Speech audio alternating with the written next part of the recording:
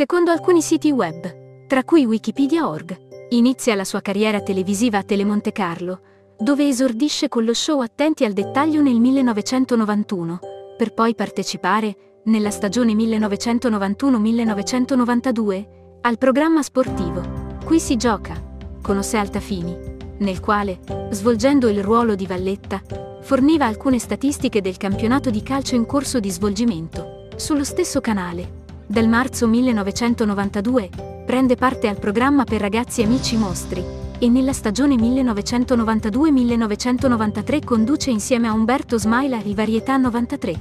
La scomparsa dell'attrice Jane Birkin ha toccato da vicino l'ideatrice di Boomerissima.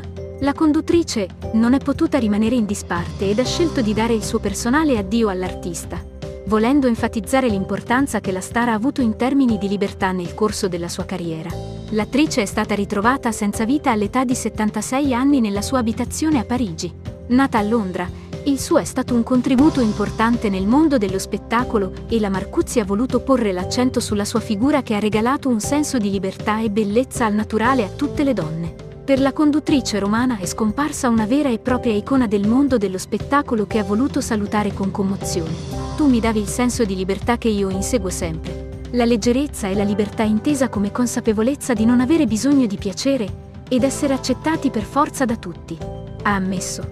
Le sue parole sono state considerate toccanti da molti, soprattutto in quanto la showgirl è stata una delle prime fan di Jane Birkin.